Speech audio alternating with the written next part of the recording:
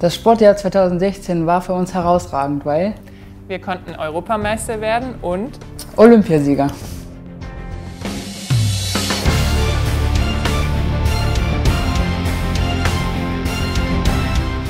Gold für den deutschen Doppelvierer der Frauen.